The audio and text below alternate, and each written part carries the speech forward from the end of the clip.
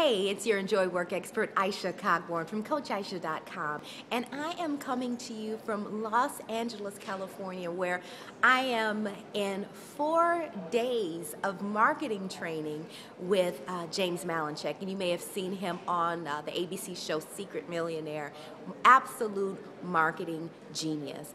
And I tell you, one of the things that I am taking away from just this first day that I want to just take a couple of minutes and share with you this week is that uh, there are a lot of us who have a, a passion for what it is that we're doing.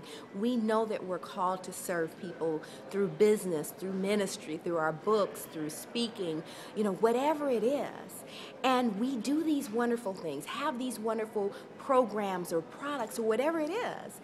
And we have been given the bill of goods that if you just follow your passion, that everything will be all right. And you know, that's a noble thought, but it just doesn't always work out that way. And one of the things that I really want to, to share with you this week is how important it is to market. Now, I know that there are a lot of you, a lot of us, who aren't driven by money. And a lot of the marketing training that we hear is always about make money, make money, make money. You do this so you can make money. And money is good. money is good because I tell you, when you're trying to figure out how you're going to pay your mortgage, it's really hard to concentrate on all the people that you're trying to serve.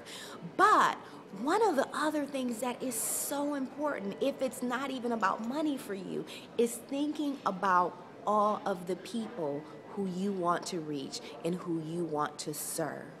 And so, marketing isn't necessarily about making millions, but it may be about you having the ability to serve millions.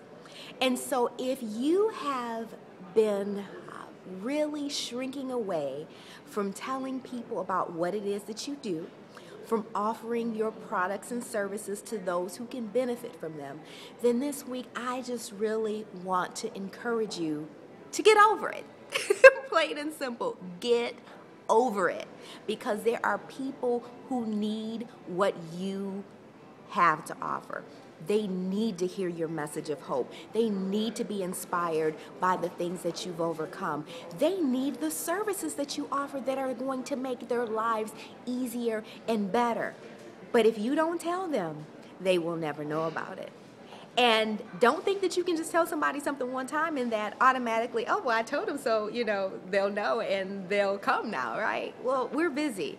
How many times does someone tell you about something one time and you drop everything and just go out and act on it? You see that email come through your inbox with the other 500 unread messages and you just say, That's it, I'm gonna do that right now. I'm signing up for that workshop, I'm signing up for that coaching group, I'm gonna do it right now. No. We have to be told something over and over and over again. So you may be sharing your message with people and or sending out your newsletter or your messages and yes, you may get on some folks' nerves. He may say, "Well, why is why is he sending all this stuff all of a sudden?" And I'm really getting tired of this. I'm going to opt out of that email list. And if they do, you know what? That's fine, because those are the people who didn't really need to hear your message. But for those who need it, for those who need to be blessed by what it is that you're bringing, don't be timid.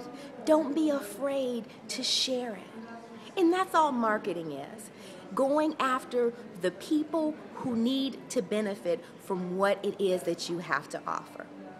And if you don't do that, you're doing them a disservice. And that is contrary to everything that, that you've gone in business to do, or that you've started that ministry for, or that you've written that book for. You didn't write that book for it to sit in your garage. You wrote it so that people could read it, so that they could benefit from your knowledge, benefit from your wisdom, benefit from your experiences. But if you don't tell people that the book exists and what they can benefit, how they can benefit from it, then you're not accomplishing your purpose. So this week, I want to just encourage you to change your mindset when it comes to marketing. Don't feel like, oh, well, I don't want to sell. I don't want. Get over it. Get over it. If you don't tell people how you can serve them, they will never know, and you will never accomplish your purpose. So change your mindset. That's where it all begins. And when you change your mindset, then you can begin to change the world. So this is your Enjoy Work expert, Isha Cogborn, and I look forward to talking to you next week. Again, make sure that you connect with us on Facebook, on Twitter. If you are not in our Facebook group, but I don't want a real job, make sure you join because there are good things going on there. And I tell you, if you've got some reservations or fear around certain areas uh, with, with your business or using your talents or whatever it is that you're doing, that is a great place to just get built up and encouraged and to be able to share those things that maybe the people that are in your circle on a day to day basis just don't understand. So make sure you join us, and uh, I will talk to you soon. Bye bye.